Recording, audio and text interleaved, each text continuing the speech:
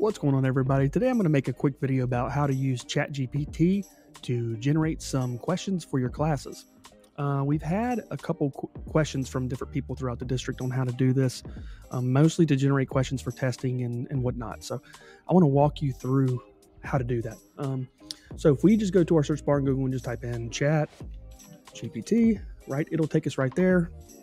And the first thing should come up chat GPT OpenAI. We're going to go here and you can sign in with Google or make an account, a personal account or whatever. Um, I'm using my school account for work, obviously. Um, when once you get in, um, you'll kind of come to this screen right here.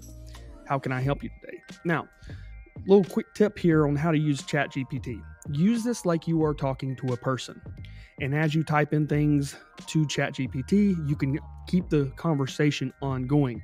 When you have conversations with ChatGPT, it'll store these. You can delete these or keep these if you need to uh, reference those.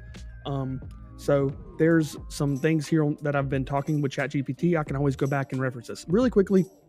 I want to show you a conversation that I had with ChatGPT because we had a math teacher who said, "Hey, what's the best way to kind of generate some questions for testing?" Okay, and so I went and I played around with it, and it was pretty awesome. So let me talk about how I did that. So I'm going to go to Slope Questions and Answers, which is the name that ChatGPT assigned to this conversation that we had. I'm going to scroll all the way back up the top. So I was going to see if for this teacher if ChatGPT could generate questions for tests because she said she wanted to have a bunch of different questions to use for different kids so they wouldn't cheat. So I just came in and see what it what it could do, and I said create 30 math questions on slope. Well, it said absolutely. Here are 30 math questions related to slope. Boom, boom, boom, boom, boom, boom, boom. Now, the teacher had given me one of her tests, and this wasn't in the format that I saw in her test. So I was like, okay, ChatGPT, let's see what else you could do. I said, I got more specific, and that's the best way to do when you're talking to this is be even more specific. So I kept the conversation going. I said, well, here's an example of a math problem. And I took it from one of her tests, right? I said, use point slope to fo- form, use point slope form to write the linear equation to slope intercept form.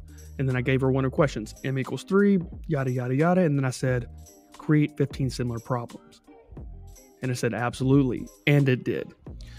So this would obviously save you tons of time, tons of time. Um, if you can uh, provide it a question, it can generate these questions for you. You could double check them. Always double check AI, make sure it's falling.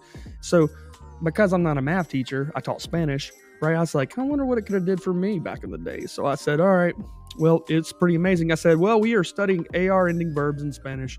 Generate 15 questions to test my students on their knowledge. So I'm being very specific with ChatGPT. I'm saying what exactly we're studying, and I'm saying to generate 15 questions to test my students, just so it knows. And it did.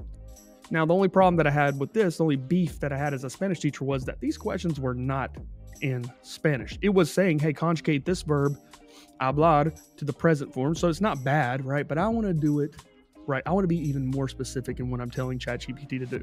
So I said, okay. I said, I rephrased my question down here. I said, we're studying AR verbs in Spanish. Generate 15 fill in the blank Spanish questions to test my students on their knowledge. And it was pretty amazing. Boom, there it was. In literally five seconds, it did this. So this probably would have saved me what, you know, 15 minutes, 20 minutes of me just kind of going through, making all these different questions and everything. But then I kind of got an idea. I said, hey, I have 30 students in a class, right? What if I wanted to give each of those students three questions that are different from any other questions? That way, I don't have to worry about cheating. I don't have to worry about anything. They're all going to have three questions and they're all going to be completely different. But I want at least one of those questions to have the vosotros form, which is a y'all form, right? Which is this form right here. I want each student to have one question that starts with this, but I want the rest of the sentence to be different. So that's like wildly specific, right? And you could do this too for your subject. So I just asked it asked away. I said, okay, we're studying AR verbs in Spanish. Generate 90 fill in the blank Spanish questions to test my students on their knowledge.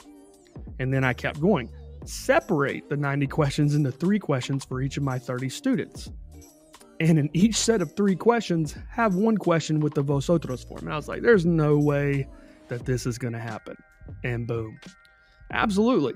Here are 90 fill in the blank questions for AR verbs in Spanish, divided into three sets of questions for each of your 30 students. Each set includes one question with the vosotros form. Student one. right? Three questions. One of those has the Vosotros student form, right? Three questions, right? Vosotros form. And notice they're all different. they're all different. So people wouldn't be able to cheat anyway. you know, all the verbs are different. And it did stop here. It said, hey, continue the pattern for each uh, three set of questions for each students. And I was like, no, no, no, no, no. You don't get off that easy. I said, keep going with your above generations of the questions I asked of you. And it kept going. And then he got tired again, right? So he did have his limitations with how much he did it, but he was doing exactly what I told him to do. And whenever he he stopped, I said, keep going with your above generations. So think about how much time this would have saved me as a teacher to say, generate this. This is exactly what I want. And this is the beauty of using AI in your classroom. It is literally like an assistant that you can use to help you create content, create questions, um, help you out. I encourage each one of you guys to try this out. Um, this was pretty mind blowing um, of what it could do. Hope this video helps you. If you have any questions, please reach out to your ITS team. Thank you so much for your time.